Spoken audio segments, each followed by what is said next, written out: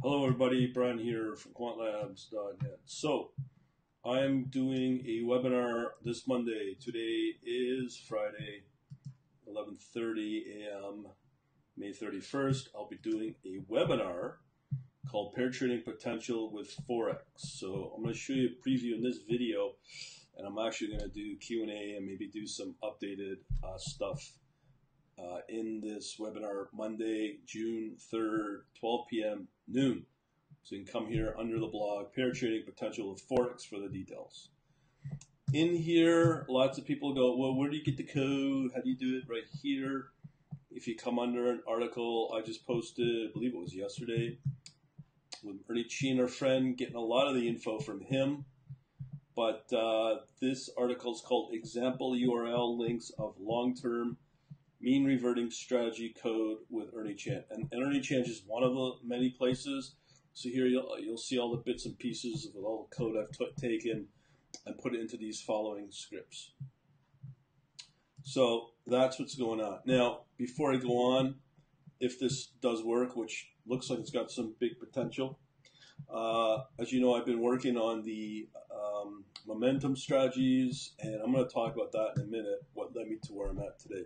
So if you come under here under Quant Analytics membership under the store, you'll be able to get all the charts, everything, which will be updated every hour, every four hours for all this stuff that I'm going to show you. And it's for both crypto and Forex. And it's 47 bucks a month right now. You get grandfathered in for the rest of your life as long as you stay a member, and it's going to go up $97 and probably even higher as this uh, moves on because you'll also get access to the private chat server for life. Uh, you get all the inside scoops that I post there, and that's where I talk to other, we'll call them experts that guide me to where I'm at today. Kind of like a mentor. All right, so let's talk about what we're looking at. Alrighty, alrighty, alrighty, alrighty, alrighty, alrighty. Now, here what you're looking at is what we call the um, the hour, sorry, the Hurst four hour chart. Now, or uh, table. Now, in here, I've got 18 pairs. This is them, all downloaded from Oanda. These are the pairs I can use to get uh, access to the order book through the API for long and short positions for all of these pairs, uh, 18 of them at any time while the markets are open. And these are the only pairs I have access to. Anything else tells me there's not enough liquidity. That's why it's not provided. So what I've done was I've taken moving averages of uh, a fast and a slow of 4 and 24. This will be tweaked um, when I'm looking at. It seems to people tell me it works is 10 and 20, but again, that's open to debate. Here we have moving averages that are calculated on these particular pairs. In this case, Australian dollar against the Japanese yen gives out these signals, da da da da. Um, and this is useful because one of the things that I quickly learned uh, with all this stuff when it comes to um, the Hurst uh, component, there are some concerns. And what, what basically, let me show you what uh, Hurst does first. This is probably what led me to the first point. Hurst, let me see if I can find a uh, an example of it. Uh, let's see, robot well, blah blah blah blah, ResearchGate, daily price action. Okay, maybe I might find it here. Now, um, let me let me make a comment about this particular link, DataCamp. This is quite good. Uh, it probably has what I'm looking for on on Hurst uh, component. So in here somewhere it was robot. Yep, this one right here. So this robot wealth one.com. There's two parts. What uh, Hurst does, it tells you if a particular a time series is mean reverting or momentum. So what I've been doing for the last close to, we'll call it a year, focusing on time series for a momentum, thinking that the time series is in a momentum or a trending mode. guess what? Majority of those do not trend. so as a result, uh, you know, no matter how I trade it, it's going to lose money because I'm applying the wrong strategy type to it. Meaning, it's a time series that's in mean reverting mode, yet it's uh, in uh, in uh, a momentum mode or vice versa, and therefore, I'm not saying it is the real reason, but could lead to the reason of why momentum trades fail. Um, one one big takeaway I can I can tell you about momentum versus uh, mean reverting is that this is consistently true. Is that momentum happens on average, from what I'm read from again experts, 40% of the profits for momentum are profitable. So 60% of them will fail, be negative, money losing. So you got to be aware of that. Mean reverting works supposedly 80% of the time, but much tinier profits. But because you have a higher probability of profit uh, over time, over uh, the length of the opportunity where the pair or the symbol is mean reverting, you can make more money, but each position is much tinier.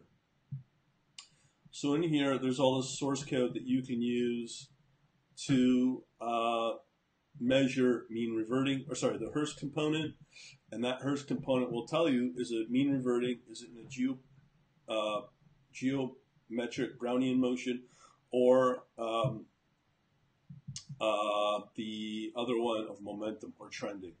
Now, the geometric Brownian motion is telling you it's kind of like a, a, random walk. It can go either way, but that's like one out of ten.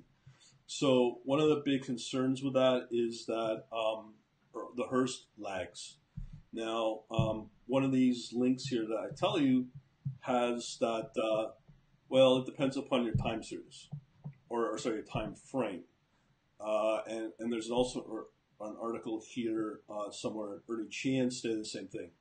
Is that it depends upon your time frame. So what I do is I have different Hurst uh, components that I use, and um, the best one for me is the four hour. Okay, um, so in there that will tell me if out of those 18 pairs that I showed you are either mean reverting or um, mean reverting or momentum. Um, and I've kind of fooled around with uh, five minute data, four hour data, daily data, all different types of periods. And I know that this thing lags and it might not be the best, but it seems potentially, I'm not saying 100%, it seems to work best for um, for uh, for our data. Now, the stats say that the average out of these 18 pairs, I would say maybe out of 18, four of them may be in momentum. The other 14 would be mean reverting. Okay, so do consider that. So out of that test and understanding that led me to a new path of thinking, mean reverting. So I dug and dug and dug, asked around on my chat server, among other people, including Ernie Chan himself, about this. Still waiting to hear back from Ernie Chan. If, if I get answers, I'll put those and share those on the uh, webinar. So with that, um, I'm, I'm kind of like code. I've, I've, I've, moved ahead to code a pairs trade um, with all of this info that I kind of brought together and put it all together to come up with uh, a few things. So, number one is co-integration. Now, if you go through all those links, you'll understand the difference between correlation and co-integration. Um, I focus, knowing what I know from all this, is co-integration, uh, what you do. So again, we have the same eight pairs. So I have a co-integration script. Um, and essentially, for each pair that I, I show you here, um, very important stats here. Now, people have been asking about MetaTrader uh, or any platform, a retail trading platform. If you don't have access to, in my case, Oanda or through your broker, or even for crypto on exchange, on an exchange, you have to get access to the order book. Uh, you have to get access. In this case, with Oanda, I've, I've written some scripts here that will take of any pair at that time how what's the percentage of it long, what's the percentage of it short. From that, I'm able to determine and can confirm without a doubt that this works, 100% certainty, that knowing that you have, in this case, 72% short versus long, uh, chances are the price is going to get driven down. And that's at any time that when I run this script. Okay, so out of that, there's a couple of things we also need to measure is spread. Okay, on, on that, so I, I, I, I do a test there. My spread needs to be usually less than seven, um, and uh, or less than eight, then I'll take the trade or consider it. Usually, all these pairs it usually is eight, but you'll see the spread may be really, really tight here. In this case, the euro against the uh, Swiss franc. So there's that. Um, I also take a ratio between these two, uh, between the long and the short. I'll talk about that in a minute. Um, also, I measure the ROCP over four hours, take the average. And again, this is the ratio that I measure on the long short ratio between uh, these two, long short. That's on each pair. From there, um, I can determine um, do we have a short opportunity for this pair or a long opportunity. So again, if out of 18, let me just tell you how many long opportunities we have. And this just was just ran in the last half hour, so it's fairly uh, current information. Okay, so let me just go here. So we got, remember, 18 pairs. So uh, so we want uh, a long opportunity. See, see, let's see how many long opportunities we have here. So one, two, three, four. Is that five? I'm going to start over again. I'm pretty useless at this. Okay. So we got uh, one, two, three, four. So out of four, out of 18, four of them are long opportunity. Now, in the news I just read, there may have been a flash crash in both the Japanese yen and the Swiss franc because of liquidity drying up. So it's a concern that there may be some kind of liquidity event on a global scale in the next week, two weeks, as concerns uh, move. And usually, when the markets, as they're going through a meltdown right now, usually the safe plays are in franc and Japanese yen. But they're saying on a Reuters article I just posted um, that the uh, both uh, currencies there may be liquidity concerns there, and as a result, there may be some actually intervention from the Swiss National Bank to um, to cover that. So be be aware of that down the line because that will greatly affect these these currency pairs. So we have that. So we have four out of 18 pairs that are longs. So showing you all of this stuff, if I go to the bottom of this, now we get into co-integration. So as I said here, we measure the uh, ratio of the long and short, and we can sort them. So right now, the shorting, uh, sorry, long opportunities are in these four pairs because these are positive. So four out of 18 pairs are have long opportunities. The strongest, it's been like this for a week now, is the Australian uh, euro, Australian dollar, U.S. dollar, and the Swiss franc, euro and the Swiss franc, and euro and the British pound. It's been like that for over a week now.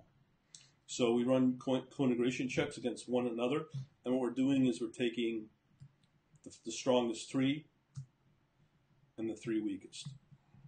Okay, so what I'm showing you right now is uh, from yesterday.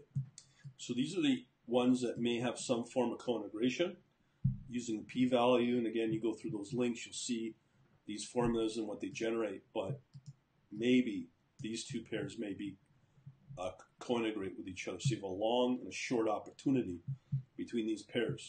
So here's the closing prices of them all. And then we come back to, well, let's do a back test on the long and short opportunities. So again, all the data here is generated uh, with the, the the uh, the relationship of the co-integration between these pairs, and I'm only doing one.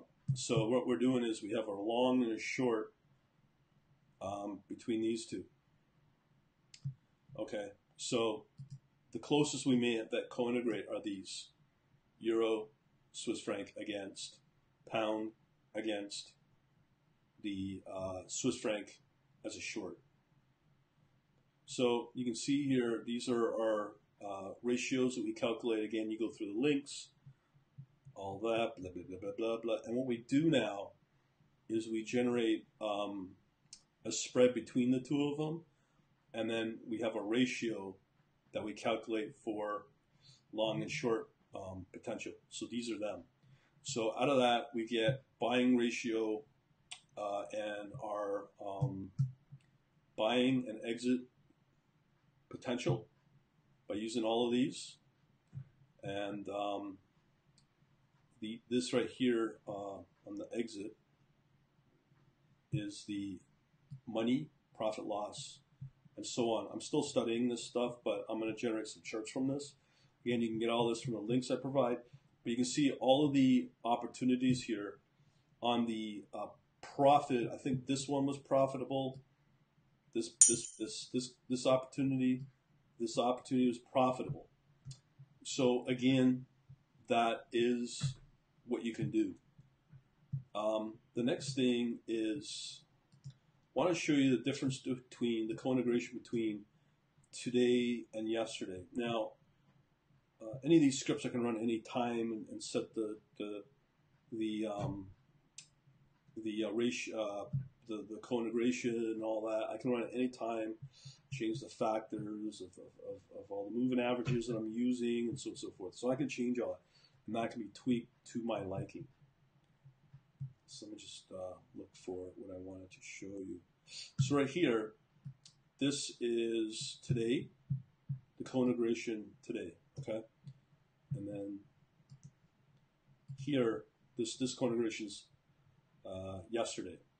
So you can see the difference already between the two is that the uh, this this pair again these have been kind of like stable for about a week I'm to assume but, but I can check it every couple hours or every day before I run this test to see if the co-integration still exists on a set of data. So here you can see it's still um, it, no, actually, it's changed. So yesterday, you can see here, this maybe, not saying it was or is, but this was an opportunity yesterday, potentially, as a co-integration pair. Uh, Euro Aussie as a long, and then Euro Japanese yen as a short. And, the, and that was at this ratio of 0.08. And then uh, Euro Swiss franc and then pound against the uh, franc a, as a short. And again, this is the ratio. It switches. So the euro, Australian dollar, European, Japanese yen pretty well drops off today. But um, the other one, euro, franc, pound against the franc as a short, still stays on, but it, it, it becomes more likely it is uh, co-integratable. So these are the potential. So um, we, we have to run this so every so often to make sure that the, the co- co-integration between the two pairs hold. Um, so we need to run this test to get this p-value at all times. So we need to be fully aware of that. So I just want to show you this, that this is a form of mean reverting. Um, and uh, the thing is, is that I'll throw in some charts. Hopefully, I can generate today and show you the visuals of this, and maybe do another redo um, on Monday live, and then do a Q and A on it. Again, I'm not going to do any uh, on any uh, uh what do we call uh, video playbacks for this because this is the, I'm going to show kind of like already talking about the mechanics of this. So this video will stay up for a few days, um, and then removed and put it into my paywall or put behind the paywall, and same with the video playback as well. So there is opportunity here, but just understanding how this works, here it is. Um, and uh, hopefully I'll be able to show you some uh, videos. Again, um, if this works out, and majority of the time, uh, the uh, all the pairs do a mean revert, majority of them. So if that's the case, knowing this kind of pair trading potential, I'll add into the um, this section of the analytics, as I mentioned before, and get in on the price while it's fairly low. On that, hopefully we'll see you on Monday with the details again. Let me just see here. Uh, oh, yeah. So DataCamp. This this this was an interesting, very very detailed, very meaty. Uh, this DataCamp looks pretty good for what you may pay. Uh, so who knows? Uh, other than that, we shall talk to you soon. Thanks for watching.